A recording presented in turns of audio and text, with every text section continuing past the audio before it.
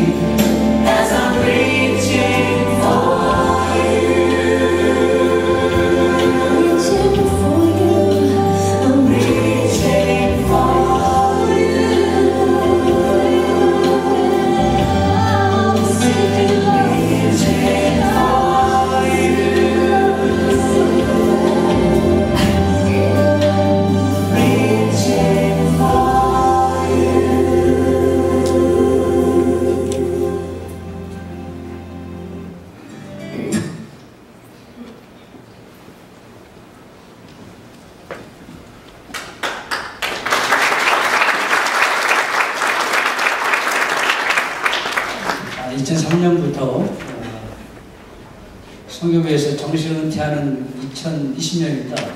오래 연차는 게 아니고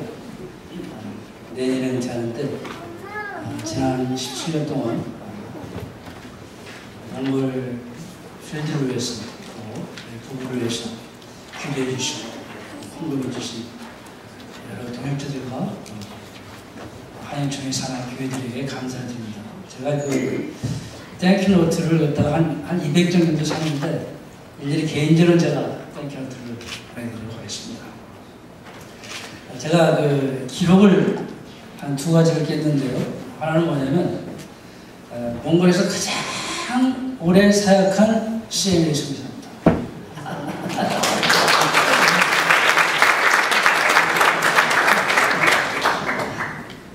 여러분이 아마 이렇게 기도 덕분에 마칠 수 있을 것 같아요.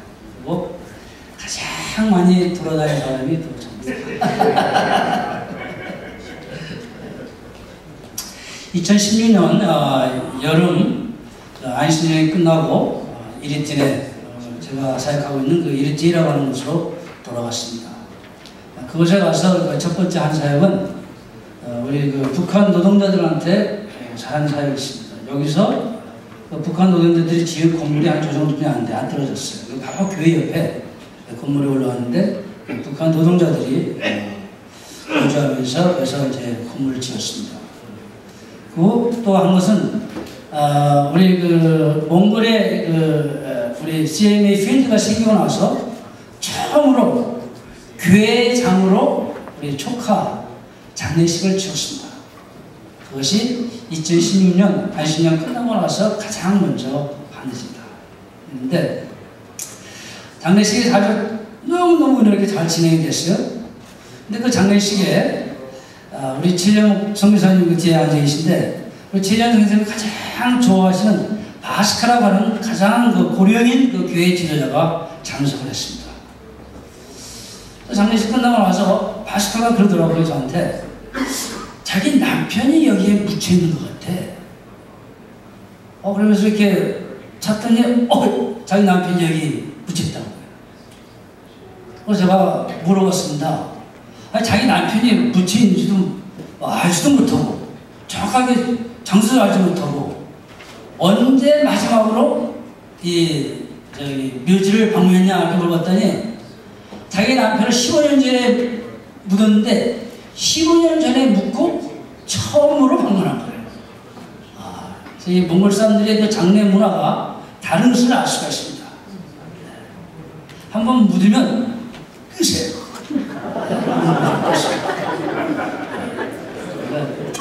그래서 몽골에는 무슨 뭐 조상한테 뭐 제사를 드린다든가 그런 게 없습니다. 아, 그래서 저는 이 몽골 사람들의 어떤 그, 그 문화 속에는 그 운명론적인, 예?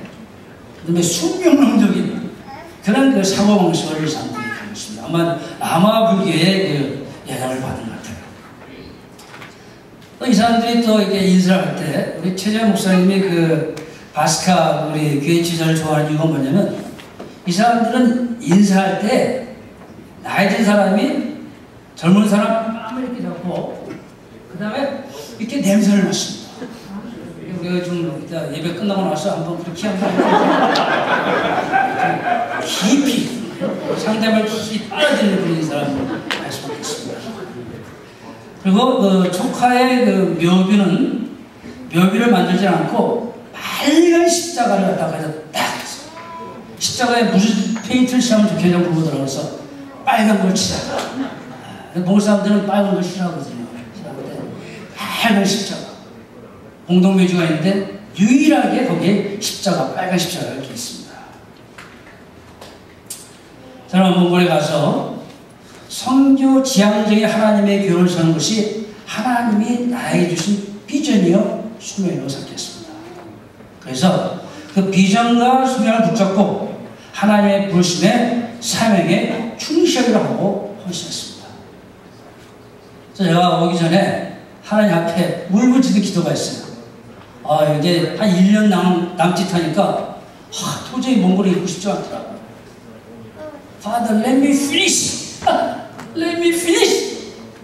하루에도 몇 번씩 하나님 앞에 마치 해달라고 기도합니다. 그랬더니 하나님께서 마치를 할수 있도록 이렇게 인도를 해주셨습니다. 입을 열어서 주님의 복음을 전파하면 몽골 형제들이 마음을 열고 복음을 줬습니다. 입을 열어서. 또 이게 참 성경적인 것 같아요. 침례를 준 장소에는 반드시 하나님의 교회가 세워졌습니다. 침례를 너희는 가서 모든 제자를 삼고 아버지와 아들과 성령으로 침례를 했잖아. 근데 하나님께서 응답하셔가지고 침례를 준 데는 반드시 하나님의 교회가 세워졌습니다. 조카의 얘기를 다시 한번 하려고 합니다. 조카는 제가 2006년도에 이제 다랑이라고 하는 데서 일도로 주말마다 차를 몰고 왔다 갔다 하면서 어, 만난 어, 우리 교회 지도자 중에 하나입니다.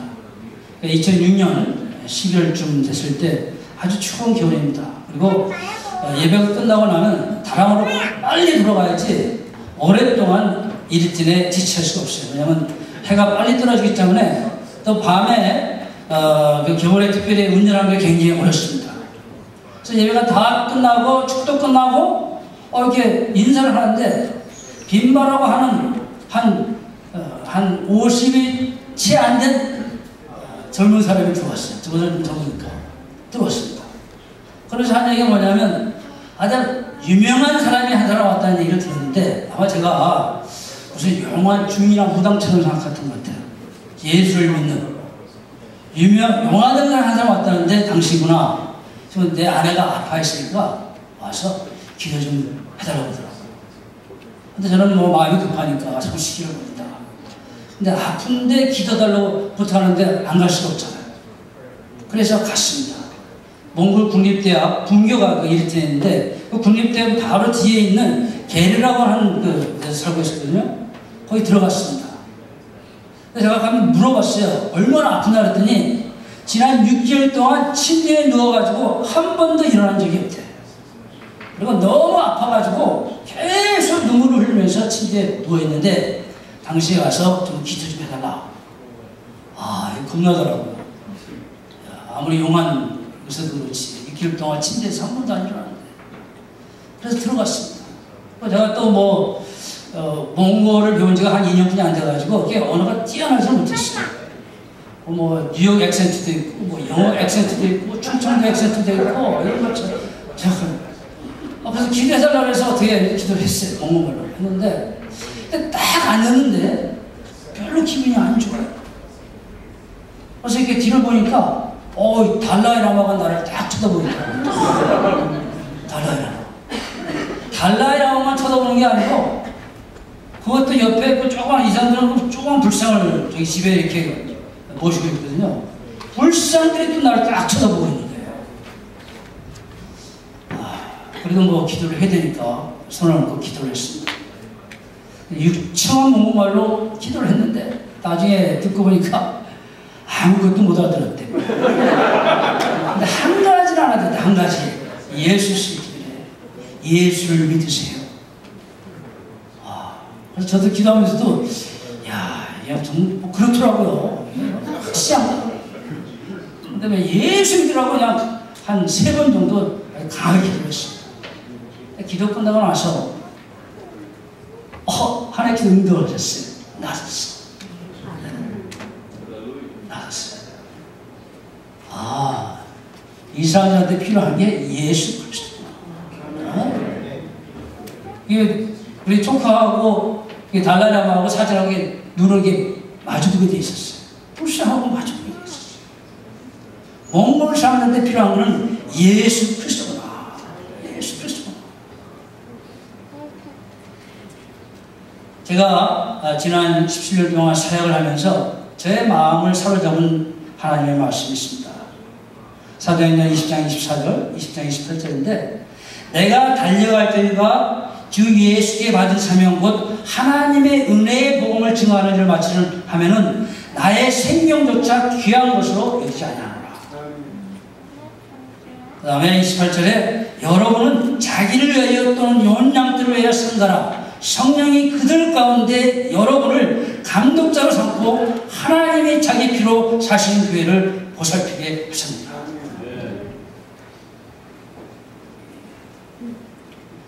제가 지난 17년 사역하면서 우리 몽골 형제들한테 하나님의 교회가 참 중요하다. 하나님의 교회가 참 중요하다. 뭐 하루도 빠지지 않고 같아요.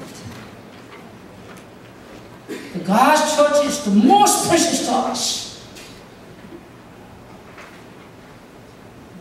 그래서 우리 지도자들은 알아요. 자기 와이프보다 미안하긴 하지만 제 와이프 굉장히 아름답지 않습니까? 와이프보다 귀찮게 하나님 기회다. 우리 커케이션 브라더한테는 좀 이해가 잘안 갈지 모르지만 이리 왜냐면 하나님이 자기 피로 사신 교회를 보살피겠습니다. 2016년도 갔을 때 조카 장례식을 치렀다 그랬어요. 2006년도에 예수를 믿고 조카가 하나님 앞에 헌신했습니다. 그래서 우리가 안신을 끝나고 왔을 때 2008년도에 철하라고 하는 데 가서 하나님의 교회를 개척했어요. 근데 2016년에 우리 갔을 때는 이게 암이 전이가 돼가지고 이게 도저히 불가능한 거예요. 그래서 병원에서 죽을 날을 기다리고. 근데 몽골에서는 해마다 교회를 연등을 해야 돼요. 얼마나 공물성인지 모릅니다. 근데 죽을 날이 몇 달 안 남았는데 병원에서 일어나가지고 몰래 빠져나가서 12명의 그 커뮤니 멤버 앞에 섰습니다. 바짝 만났죠. 그러면서 교회가 연장이 돼야 된다고 지금 이야기하고 있습니다. 이유를 설명하려고 했어요. 왜 교회가 연장이 돼야 돼? 했더니 내가 그것이 얼마나 중요하면 내가 지금 몇 달 아니면 죽을 그런 상황인데 그걸 무릅쓰고 당신들 앞에서 이렇게 강요하잖아요. 그래가지고 보통 1년 주는데 3년을 받았어. 그러고 나서 몽골에 가보니까 이게 벌써 이게 병이 중해져가지고 얼마 살 것 같지가 않다. 근데 그 조카가 한 번은 자기가 헌금 바구니를 들고 하나님 앞에 기도하겠다고 하더라고요. 바짝 말랐죠. 말도 제대로 못해. 서지도 못해. 다다다다다 떨면서 헌금 바구니를 들고 하나님 앞에 기도합니다. 하나님, 저를 하나님 앞에 드립니다. 그리고 가장 귀한 헌금 하나님 앞에 드립니다. 일어나서 몇 주 후에 하 나나 갔습니다. 우리 몽골 지자들이 어떤 면에서는 우리 성교사보다 더 훨씬. 헌신하기 때문에 몽골의 이곳저곳에 하나님의 교회가 지금 세워지고 있습니다. 조카는 자기의 마지막 남은 생명까지도 하나님께 드리고 하나님 갔습니다. 한 번은 제가 설교를 했습니다. 우리가 가지고 있는 모든 것은 하나님 것이다. 나다다 내가 복행복을 하니. 아, 그랬더니 자기가 가지고 있는 집, 개를 하고 자기가 있는 동물 전부 다 하나님 가져왔어요. 하나님 나라 확장을 위해서 기회를 좀 주세요. 다 들었어요. 성령께서 이들을 일꾼 삼으시고 이들로 하여금 일하게 하셨습니다. 그래서 러시아 국경에도 이번에 탈북자들이 러시아 북경에 들어오다가 다 잡혔어요. 네 명이 잡혔어요. 하나는 뭐 굶어 죽었다고 하는 얘기도 있어요. 중국 국경에도 만주를 하는 동쪽 힌티에도 서쪽 카자흐스탄 하는 아래 항로에도 하나님의 교회를 개척했습니다. 저는 이를 위해서 CM의 선교사로 하나님께 저를 사용하심에 대해서 얼마나 감사하고. 저는 마땅히 해야 할 일을 하고 왔어요. 저는 뭐 후회라는 생각은 없어요. 뭐 남이 안 해준다는데 그것도 저는 별로 그렇게 큰. 근데 이렇게 좀 오프닝 그 예배 저기 말씀 하나 찍어 가실 때고 간영하실 때 우리 백하임 목사님 세우시기 정말 감사합니다. 하는. 저는 선교사로 갔습니다. CMA. 우리는 미션. We are the mission movement. We are the missional church planting movement. 제가 몽골에 가서 CMA 선교사로 우리는 성교 지향적인 교회를 개척한 것이 우리의 모습입니다. That's our DNA.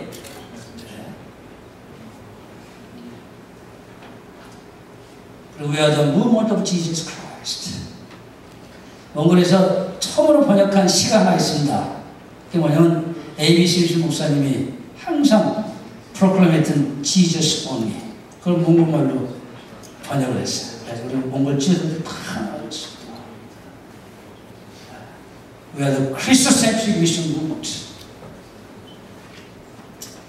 이번에 50명의 신참 소비자들이 이제 파송됩니다. 원래 60명이 가야 되는데 아마 성경복이 좀 모자라게 들을 것 같아요. 최성 기사님하고 제 장성 기사님도 같이 갑니다. 이 우리 CN의 미션 모먼트는 very expensive mission enterprise.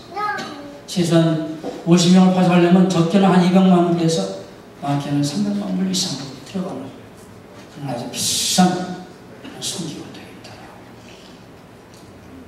지난 87년부터 1887년부터 우리가 복음을 증거해서 전 세계에 2만 6천 개 이상의 교회가 세워졌고 지금 현재 600만 명 이상이 우리 CMA 교회의 멤버십을 갖고 있습니다.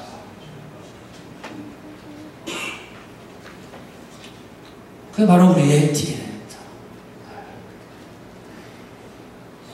이제 우리가 그 마지막 그첫 번째 기회, 우리 1등, 우리 조혜명 목사님도 오셔가지고 잘 아세요. 같이 때문에. 그 1등에서 교회 기초생활 하다가 한 번에 이제 차를 몰고 이제, 어, 이제 다락으로 들어갑니다. 들어가는데 그때 같이 왔던 우리 그 어른아라고 다락에 있는 그 종기하고 교육 책임자예요. 어른아, you pray? 예? 잘뭐 지금 얘기를 했어요. 아, 자기 예수 믿지 3개월뿐이 안 돼가지고 기도를 못하겠대. 그럼 뭐 내가 나를 따라서 해라 해가지고 어? 예수님의 한나라를 거치 예수님 우리를 지켜주세요. 그러나서 30분 후에 사고가 났어요. 제가 타고 있는 그 랜크루저, 이 랜크루저는 차가 굉장히 무겁습니다. 6천 파운드가 넘어가는 아주 그냥 고릴라 같은 그런 차예요. 그게 옆에 있는 그 리버 리인푸스던 폴이 있는데 그걸 치고서는 차가 굴렀어요. 그차 안에 여덟 명이 타고 있었습니다. 제 여동생 딸도 있었고, 그 다음에 저희 딸도 있었고, 한들마도 있었고, 네? 인케도 있었고. 아, 순간적으로 이게 죽는구나. 아, 그런데, 아, 이게 보니까 차가 딱 했는데, 아, 돌이 뒤에 굉장히 많은데 돌 가운데 딱 떨어졌어요. 차는 완전히 토랄됐는데 한 사람도 다치지 않았어요. 성경은 굉장히 리스키한 거죠. 특별히 프런티에서 성경하는 것은 리스키합니다. 여러 번 차가 미끄러지는 경험도 했고 기차하고 부딪 거의 한 아마 0.5초만 늦었으면 부딪혔을 거예요. 왜냐면 그 기차 운전사하고 우리하고 눈이 딱 맞췄잖아요. 아!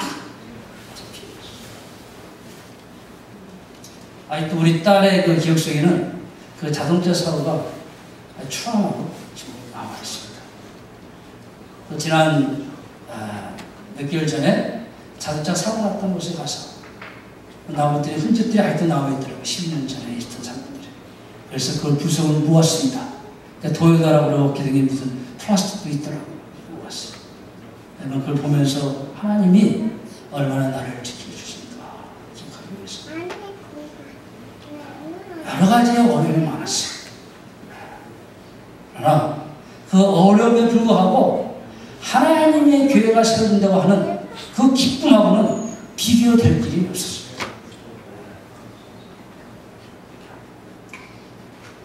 삼 4분의 세번 내지 네 번의 죽음에 가까운 고비를 넘겼습니다. 그런 사이에 하나님의 교회는 하나씩 붙여졌어요. 그리고 크게 사고가 났던 거기는 이제 작년에 교회가 하나 더 개척이 돼서 북쪽과 남쪽을 하면서 지금 예배를 보고 있습니다. 교회를 개척할 수 있도록 하나님께서 사명 주시고 기회 주시고 어려울 때마다 하나님께서 지켜주신 것 하나님 얼마나 감사하고 하나님께 아버지께 영광과 감사를 드렸습니다. 주님 오시는 그날까지 성교 지향적인 교회를 개척하는 교회 개척 운동을 계속될 것입니다.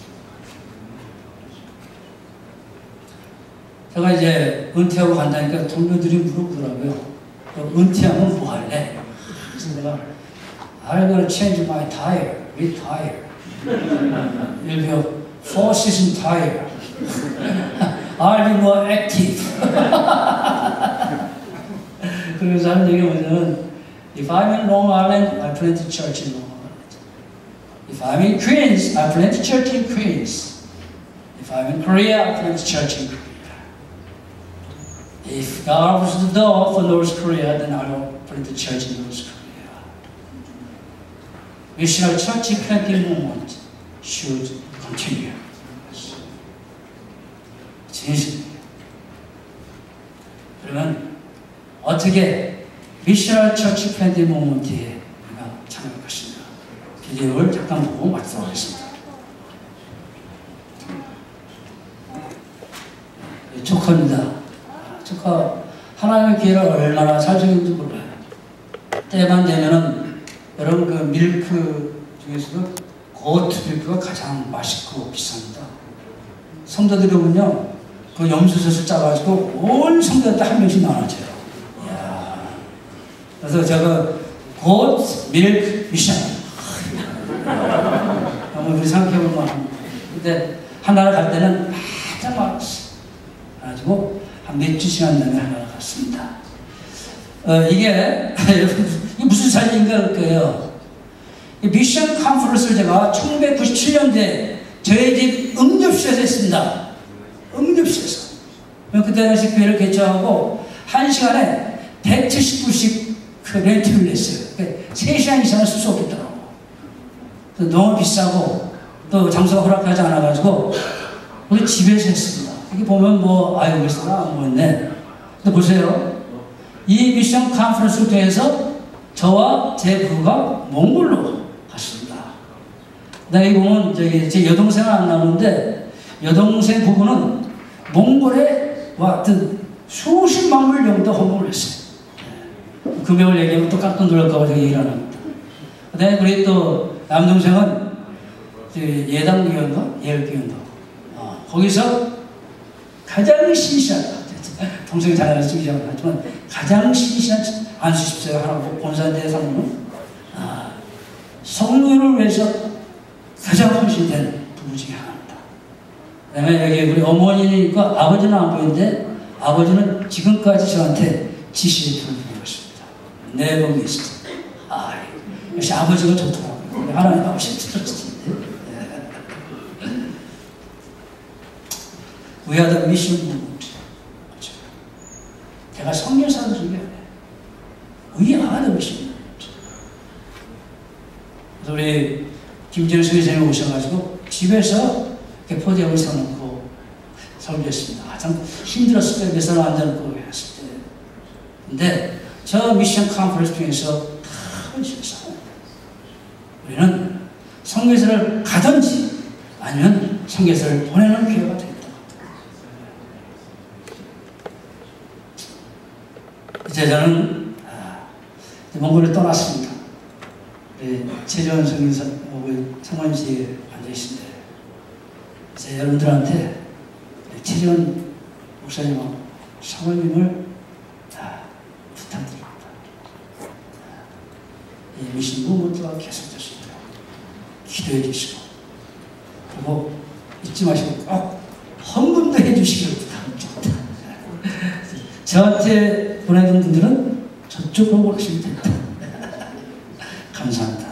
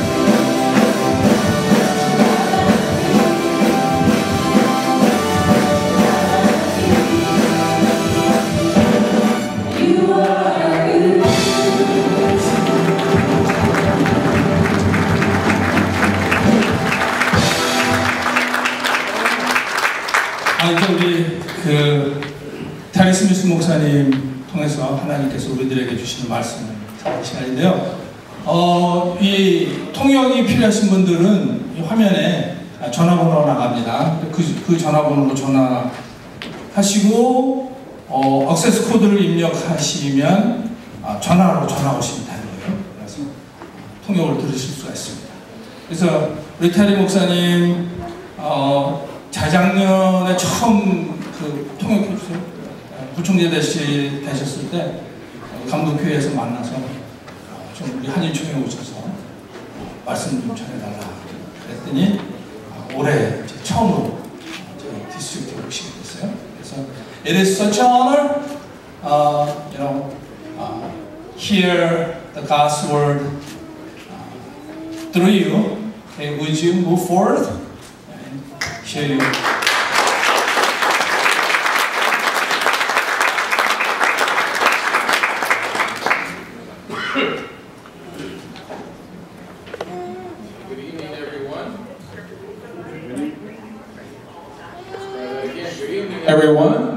it's working. It is a special privilege uh, to be with you. Thanks so much, Host Church, for feeding us well and leading us well in uh, worship tonight. Uh, so good to be in the uh, presence of the Lord. I've known your district superintendent for a number of years. We met at a coaches training uh, years ago back in uh, Atlanta, and uh, our friendship has grown from that time until this. Always good to be with my good friend Pastor David Yoon as well, who serves on our Alliance Board of Directors.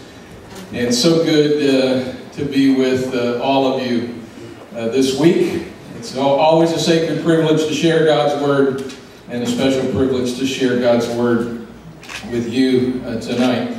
Would you pray with me and let's ask the Lord to speak to us in these moments.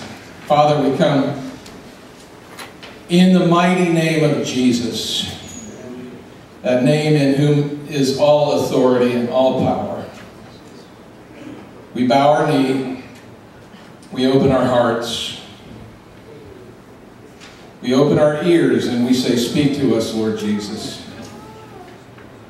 Through the voice of your Holy Spirit, through your written word, would you prompt us as to what we need to do, which direction we need to go, as we seek to live for you and serve you in this world.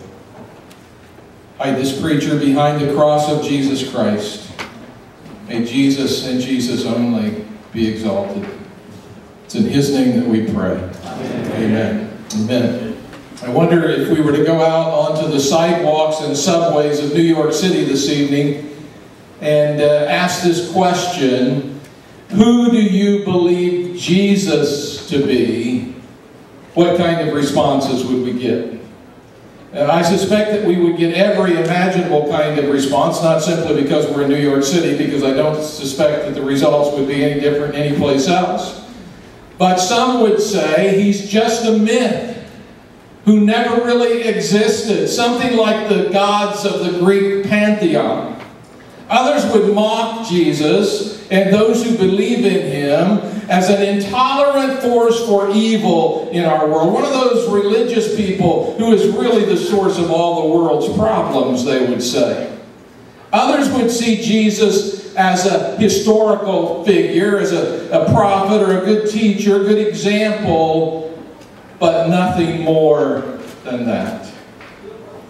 But what we celebrated yesterday, the resurrection of Jesus Christ, declares loudly and clearly that he is much different and much greater than any of those opinions.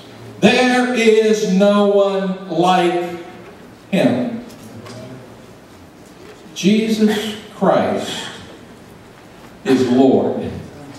Philippians 2 9 says that God gave him the name above every name, that at the name of Jesus every knee will bow and every tongue will confess that Jesus Christ is Lord.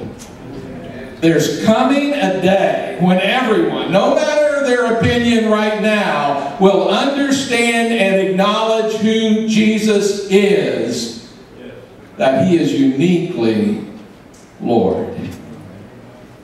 Decades ago, Bill Gaither wrote these words Jesus, Jesus, Jesus. There's just something about that name. And yes, there is something about that name. There is no name like Jesus.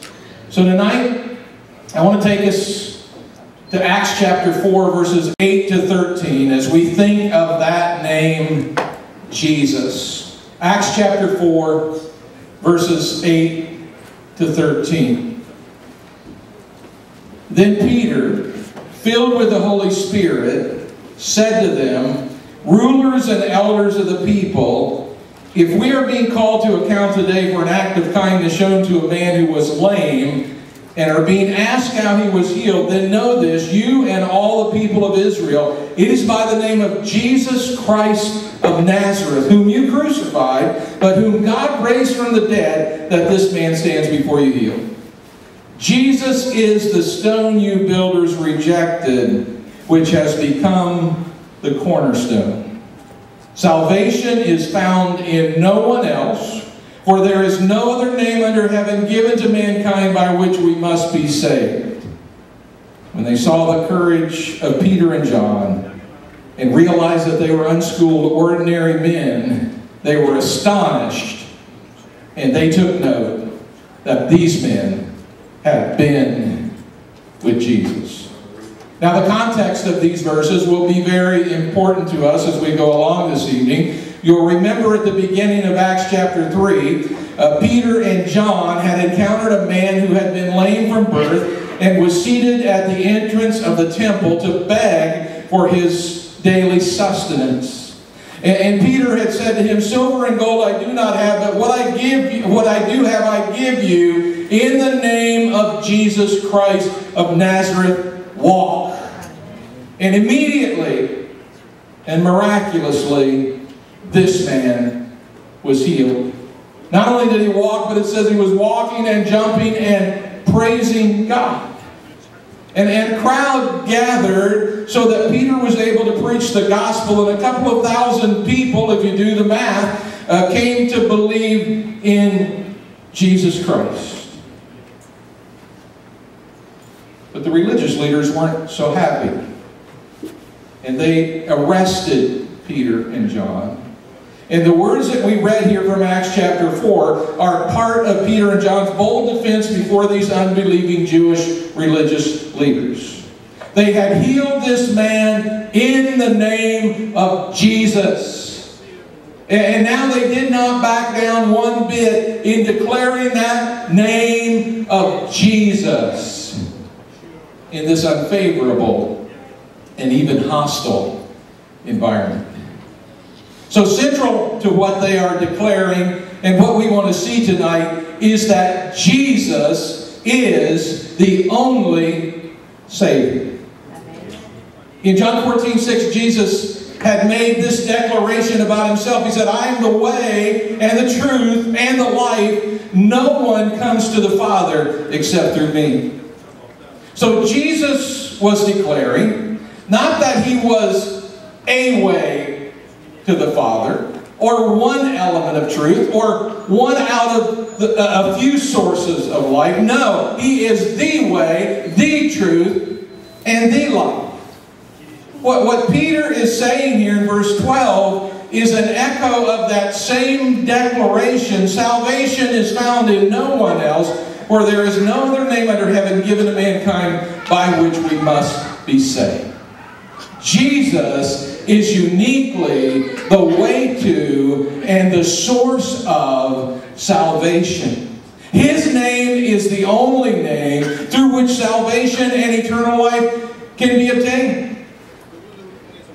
So, how can Jesus make that claim about himself? And how can Peter now make that claim about Jesus? Well, the preceding verses before verse 12 uh, give us the answer. First, we see that only Jesus died for our sins. As Peter declared to these religious leaders in verse 10, Jesus Christ of Nazareth, whom you crucified. And as much as these religious leaders crucified Jesus, it could be said that we too crucified Jesus. In summing of the gospel, in 1 Corinthians chapter 15, Paul says in verse 3 that Christ died for our sins. Now, there have been a lot of religious martyrs down through the years, even a lot of Christian martyrs down through the years. But of only Jesus can it be said, He died for our sins. People have died because of their own sins. They have died in their sins, but only Jesus died for our sins. And in fact, 1 John 2 2 says, For the sins of the whole world. And in order to die for our sins, in order to represent us all before God the Father as the atoning sacrifice for our sins, Jesus had to be sinless, the perfect sacrifice, the spotless Lamb of God. No one else in all of the history of the human race has met that qualification. Only Jesus, the perfect God man. And what happened next, and what Peter said next, removes all doubt that only Jesus, in fact, was and is the sinless Son of God. Only Jesus died for our sins, he says, and then only Jesus rose from the dead. Verse 10 Jesus Christ of Nazareth, whom you crucified, but whom God raised from the dead. Now, there are, a lot of legends of history. Things like uh, George Washington cutting down the cherry tree, or the Loch Ness Monster. How many of you believe in the Loch Ness Monster? I don't really need to know. So there are a lot of legends of history, but then there are events of history that have been witnessed by many people. January 2009, an American Airlines took uh, uh, flight took off from LaGuardia, just a few miles away from us here, and landed in the Hudson River. And contrary to the outcome that we might have expected, everyone on board that plane survived. Now, how do we know that that wasn't just a legend, but that it really happened? Well, the answer is, of course, there were many eyewitnesses. There were people on that plane who experienced it, and people nearby who actually saw it happen, some of whom helped with the rescuing of passengers and crew. And many others of us saw it on videotape, on the disc. So how do we know that Jesus really rose from the dead and that it's not just a legend of history? Well, like that plane landing on the Hudson River, Jesus' resurrection had many eyewitnesses who saw the crucified Jesus alive, even touched him and watched him eat. In 1 Corinthians 15, Paul lists many of those eyewitnesses. Verse 5, he talks about Cephas or Peter and, and says that, that Jesus appeared to him and then to the 12. So those closest to Jesus who were not expecting the resurrection saw the living Jesus. Verse 6 uh, 1 Corinthians 15, more than 500 of the brothers and sisters at the same time saw the resurrected Jesus, most of whom Paul says are still living. Now, it's hard for 500 people at one time to see some sort of mirage or false vision. And, and, and Paul says, hey, they're still alive just in case you want to go talk to them. And then he mentions James, this being James, the brother of Jesus, who had not believed until he saw Jesus alive from the dead. He then became not only a believer, but a leader in the Jerusalem church. And finally, Paul speaks of himself when he says, At last, uh, and last of all, he appeared to me also as to one abnormally born. Like James, Saul Paul had not been a believer in Jesus, thought the resurrection was a hoax. In fact, he had been the most ardent of unbelievers and had persecuted those who believed until the resurrected Jesus appeared to him on the road to Damascus. And then he believed, and his life was changed. The resurrection of Jesus Christ is way more than a hoax or a legend. It is one of the best attested uh, events of the history uh, of history with hundreds of eyewitnesses, including some who would have never believed without seeing, without touching. Like Peter, we can declare with confidence Jesus Christ rose from the dead and he is alive. And since he is alive, that validates the crucifixion, that Jesus' death on the cross really did provide the means for our sins to be forgiven. It validates all of his claims that he really is the Son of God, God the Son and Lord. And it validates this claim that only Jesus is the way of salvation. As, as you no doubt have done, I have visited the graves of a couple of famous people. I've stood by the grave of Abraham Lincoln. I've stood by the grave of Martin Luther King Jr. One can visit the graves of religious founders and leaders. You can visit the grave of Confucius in Jining, China. You can visit Kushinagar, India. Probably pronounced it wrong. Where the remains of Buddha were distributed. You can visit the grave of Muhammad at the Green Dome in Medina, Saudi Arabia. And the decayed bodies of these famous people, of these religious founders, are still there. But we only visit the empty tomb of Jesus. He rose from the dead, and He is alive. Amen. And since Jesus is alive, the only one in human history to rise from the dead, never to die again, therefore, He is the unique and only Savior. Salvation is found in no one else, for there is no other name given to mankind by which we must be saved. Since only Jesus died for our sins and rose from the dead, then no one can gain salvation through their own works. If anyone could have gained salvation through their own works, if just one person had been able to gain salvation through their own works, Jesus would not have had to come and die. But none of us could. In spite of that, however, this is the philosophy behind every other religion. Every other religion says we must attain it for ourselves by our own good works. Other religions say, I have to do it. Only Christianity says, it has already been done for me through the death and resurrection of Jesus Christ. No one can gain it through our own works, and no one can gain it through some other religion.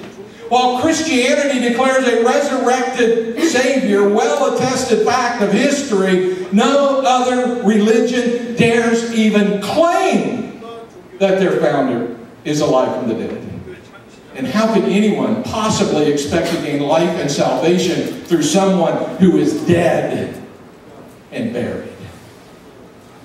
Since he alone rose from the dead, never to die again, then everyone must come to salvation through Jesus Christ.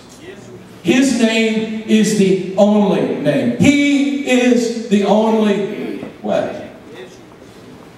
Here's the rub about Christianity in our culture and world today this belief and declaration that Jesus Christ is the only way to salvation. We believe in the exclusivity of Jesus Christ in the face of a culture that holds inclusivity in highest value. If we said only that Jesus is our personal way, that he is one of many ways, no one would have much to say about that. They might simply say, hey, if it's good for you, have at it. They might think that we're nuts to believe it, but they're fine as long as we're not pressing it onto them. You see, the problem our culture has with what Jesus said in John 14 6 is the word the instead of the word uh. The problem our culture has with Acts 4.12 is in the phrases no one else, no other name, in the word must. Jesus Christ, you see, is not an option. He is a necessity. He is not one of many ways to salvation and eternal life. He is the only way.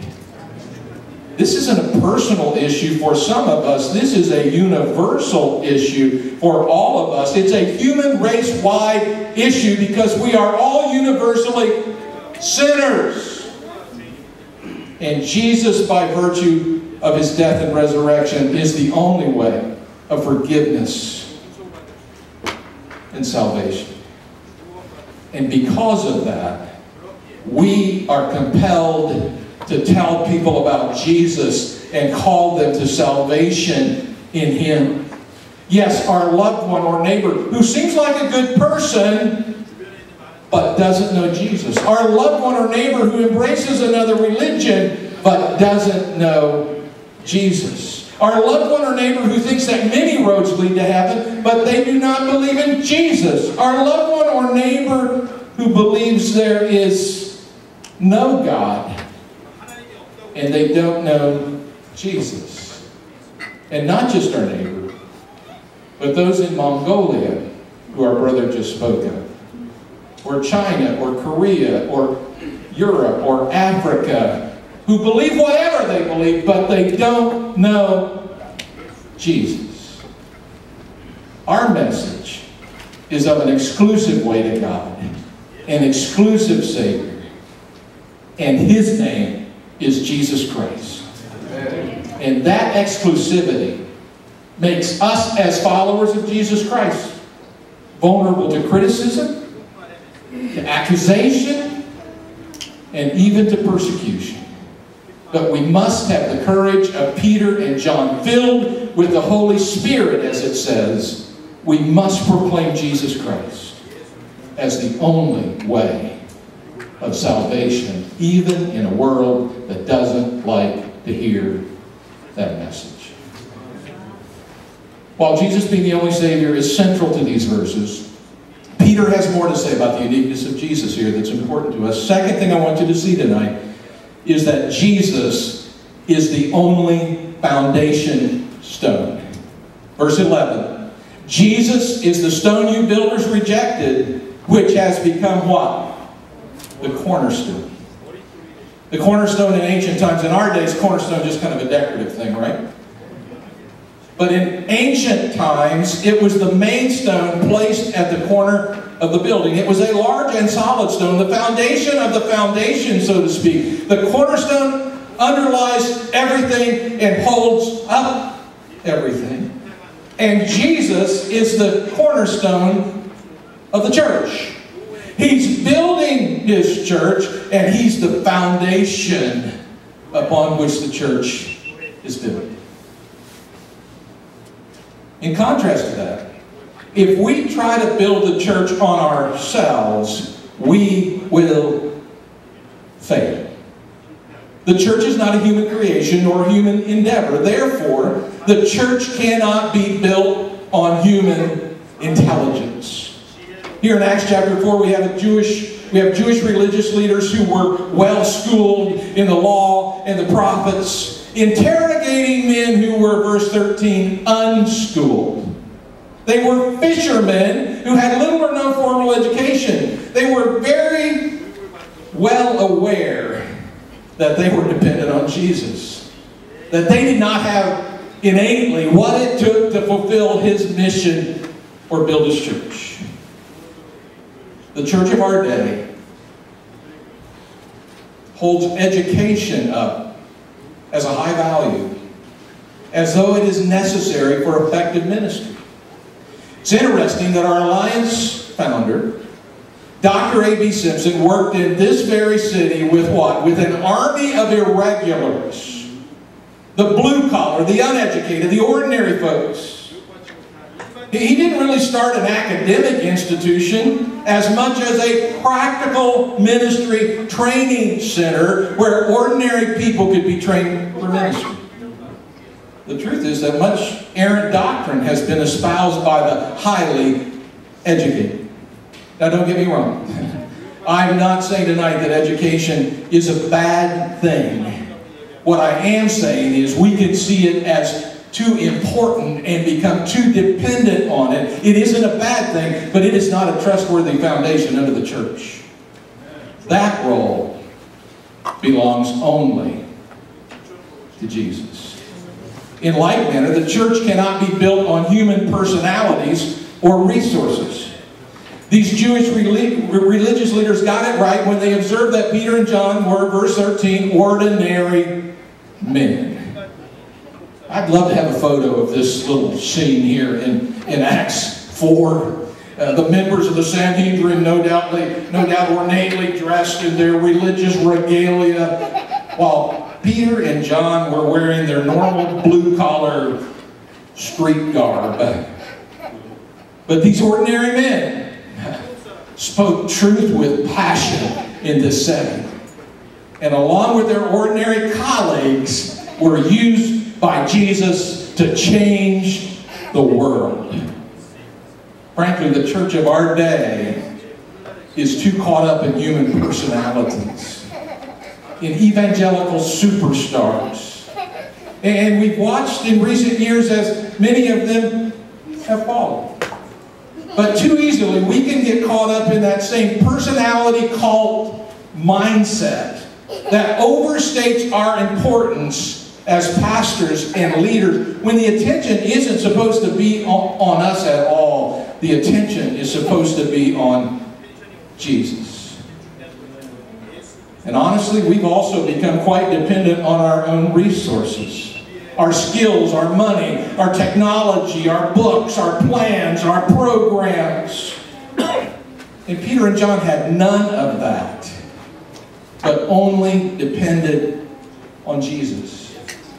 They had healed a man in Jesus' name and made sure everyone knew that it was about Jesus, not about them.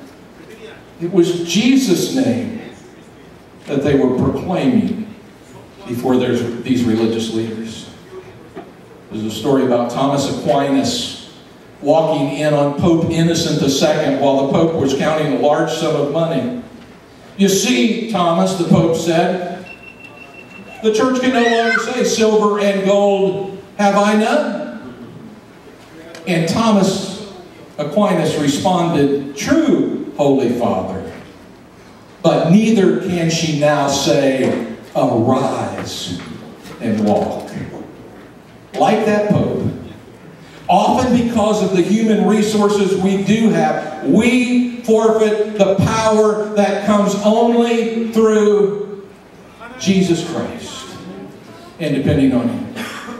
Our resources, all of them, whatever they are, are a faulty foundation that will fail to hold the church up. Our, our self-centered, self-produced efforts will always falter. But if we allow Jesus to build the church on himself, he will prevail.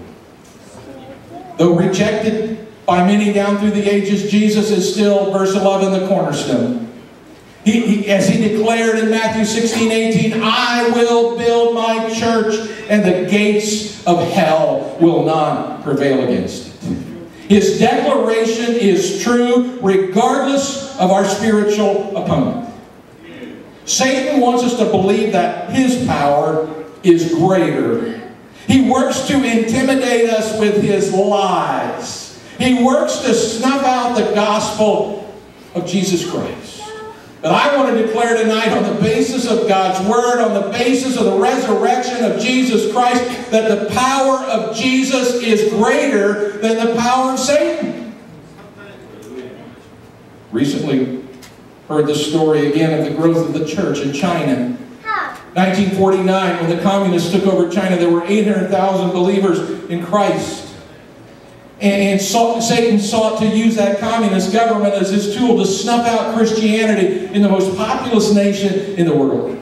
The next 30 years, as you'll remember, was the period of the Cultural Revolution that included the persecution and imprisonment and no doubt death of many of Christ's followers in that country. But by 1979, 30, 30 years later, the church in China had grown from 800,000 believers to 80 million believers.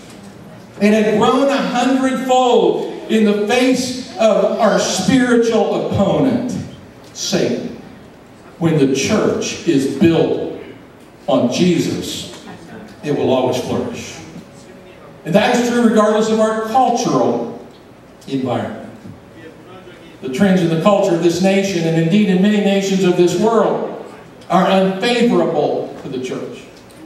The church in the United States no longer has favored status with the government or the culture.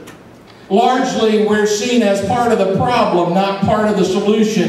And again, because of our belief in the exclusivity of, of Jesus as the only Savior, as the only way to God, the only way to heaven, we are mocked and opposed.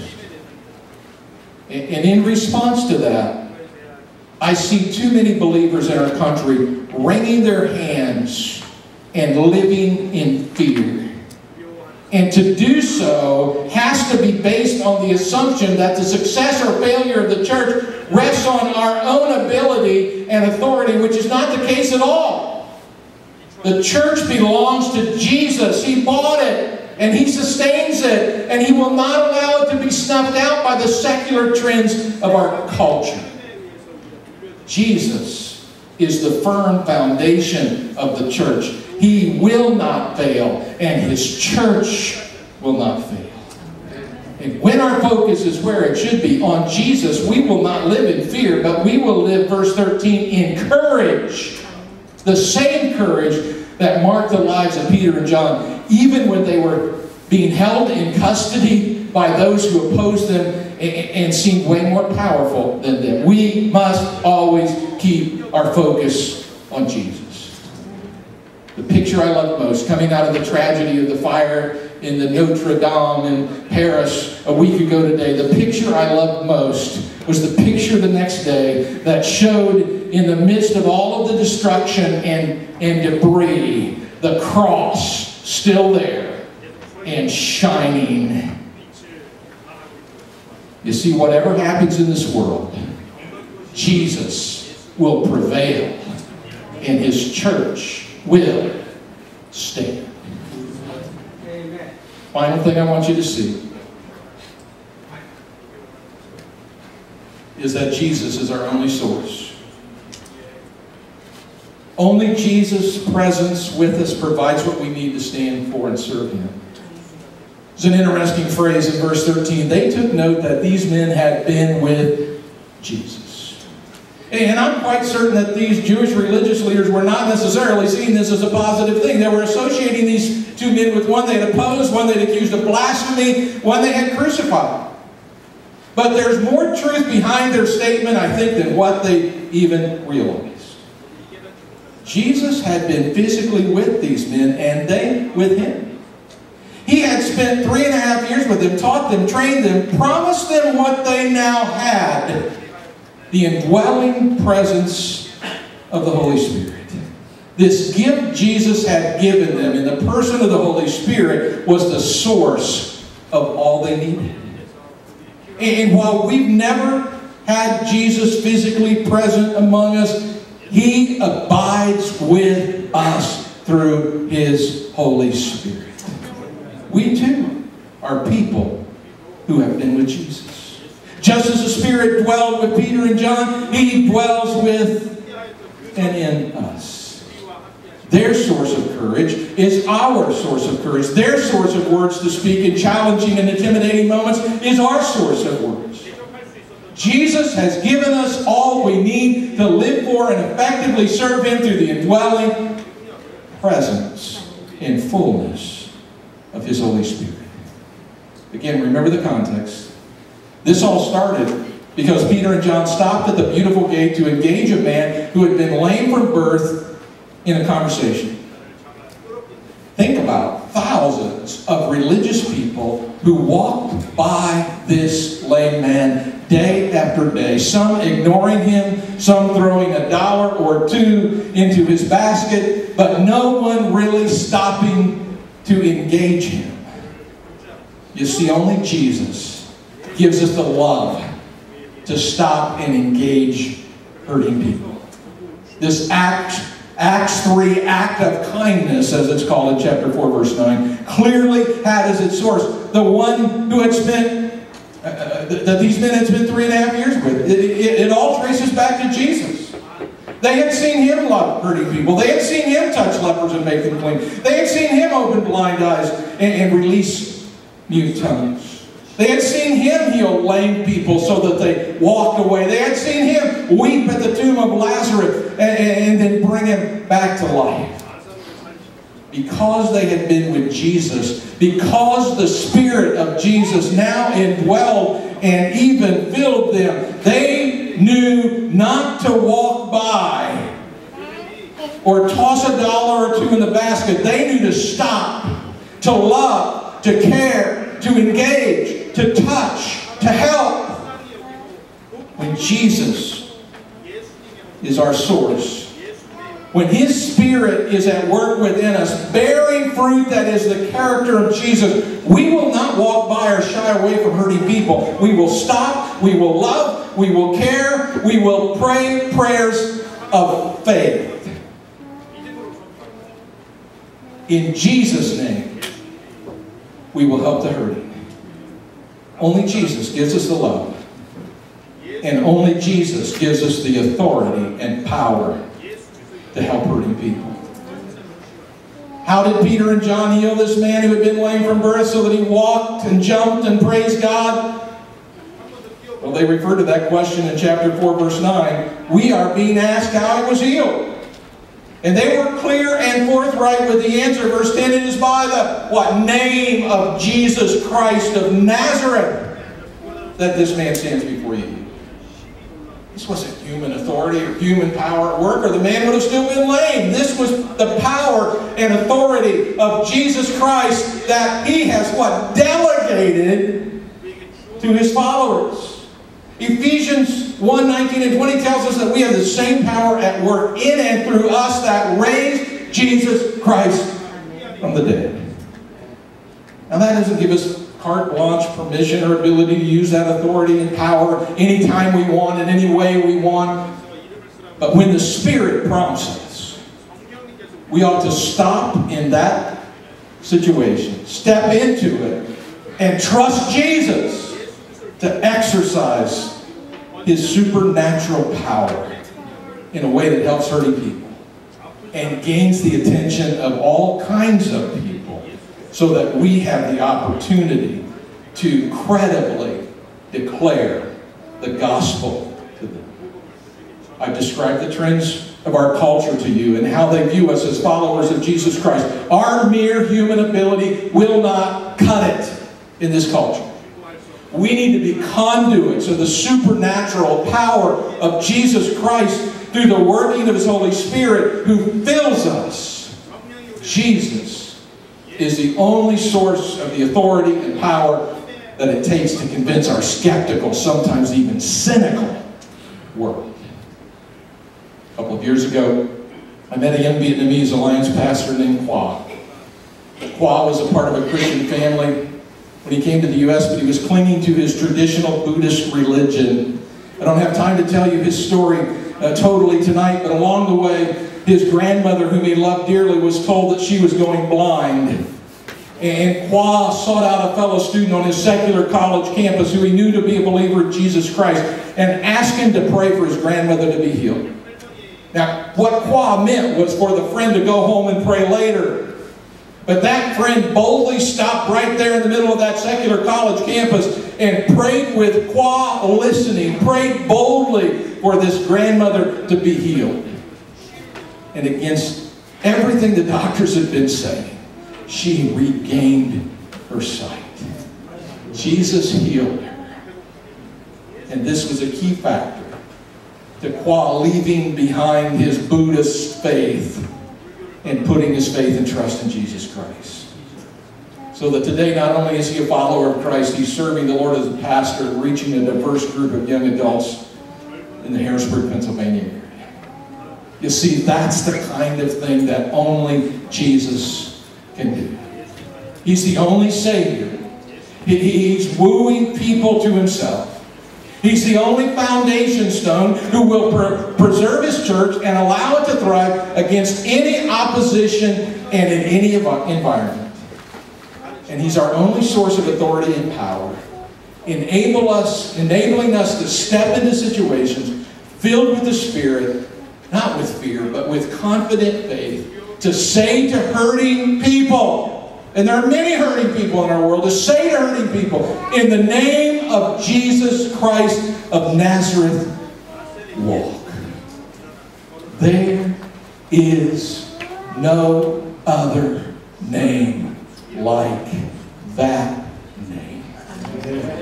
The name of Jesus Christ. May He be praised. God bless you.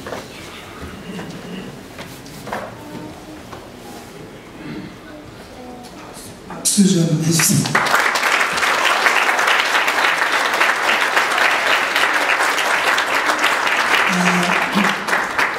아, 주님밖에 없습니다. 네, 좀 우리 한번 찬양하고 기도하고 축도하고 마치기를 원하는데요. 아, 이번에 기도할 때 우리가 저기 동부 지역에서 이번 총회를 위해서 준비 기도 모임을 가졌었습니다. 그래서 이 자리가 오순절 마가의 다락방이 되게 하여 주시옵소서 그런 기도를 많이 했습니다.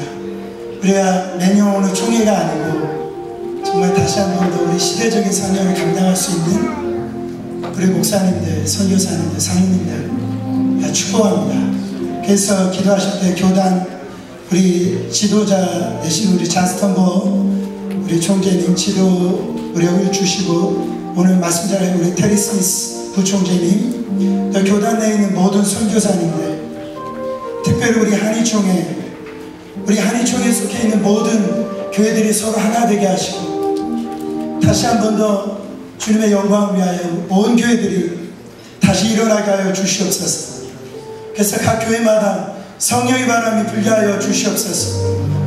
우리가 이 기도 제목을 가지고 찬양 후에 우리 같이 통성으로 기도하겠습니다. 오늘 말씀을 기억하시고 우리 다 같이 한번 일어나셔서 함께 찬양하겠습니다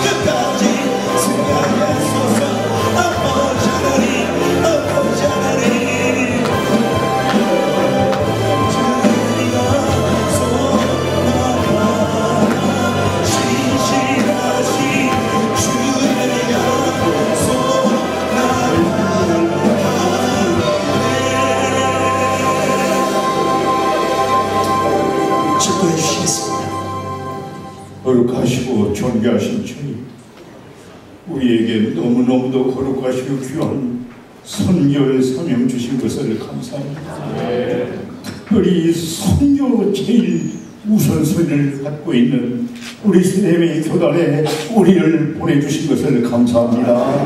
하나님, 이 밤에 주의 사랑하는 선교를 사랑하고 선교를 살고자 하는 종들의 부르짖은 기도를 들어주시고 우리로 하여금 우리 교회로 하여금 우리 가정으로 하여금 오직 선교를 위하여 남은 세월을 살아갈 수 있도록 축복하여 주시옵소서 주님 이제 가까워집니다 세상은 말세를 향하여 다름질하고 있습니다 하나님 이제는 주님 오시는 길밖에 소망이 없는 때입니다 하나님이 이를 위해 우리 교단이 우리 교회가 우리 성도가 깨어서 기도하고 열심으로 선교에 헌신하는 우리들 되게 하여 주시옵소서.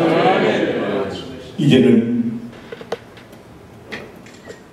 하늘의 영광을 보이시고 선교사로 이 땅에 오셔서 우리의 생명을 구원하시기 위해서 자신의 생명을 죽기에 내주시 그리하여 우리로 하여금 선교 사명자들 하여금 삶과 사역의 원리를 깨닫게 하시고 본을 보여주신 우리 주 예수 그리스도의 무한하신 은혜와 엘리 엘리 라마 사박다니 나의 하나님 나의 하나님 어찌하여 나를 보셨나이까 사랑하는 독생 성자의 이 부르짖도에 의변하시고 오직 우리를 구원하시겠다는 그 한 마음 가지시고 종래는 사랑하는 자신의 목숨과 같은 사랑하는 독생자 성자를 우리를 구속하시기 위해서 제물로 십자가에 내어주신 아버지 하나님의 그 거룩하신 사랑하심과 사랑하는 성자의 은혜와 사랑하는 아버지의 사랑을 깨닫도록 우리 안에서 우리를 가르치시고 교통하시는 성령의 역사하시니 이 밤에 주님 앞에 다시 한번 결심하고 타지만은 여기 모인 우리 모두 외워 이 선교의 사명을 최우선순위로 가지고 충성을 다하는 세계의 교단과 사나이 모든 이 선교를 세워주신 교회 외워 선교사님들 외워 우리 모두의 예로부터 영원토록 함께해 주시옵시기를 간절히 축원하옵나이다. 할렐